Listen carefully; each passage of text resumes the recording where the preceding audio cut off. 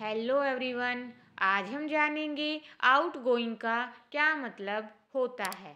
Out going का मतलब होता है जावक वही ग्रामीण सदस्य, बाहर जाने वाला, पद छोड़ने वाला, विदा, जाने वाला, चला जाने वाला और सेवा मुक्त।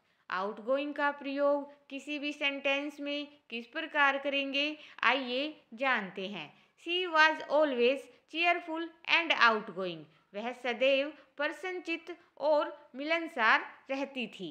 अब आप मुझे बताइए, पीले रंग को इंग्लिश में क्या कहते हैं? और वीडियो पसंद आए तो चैनल को सब्सक्राइब ज़रूर करें। आज की वीडियो में बस इतना ही। धन्यवाद।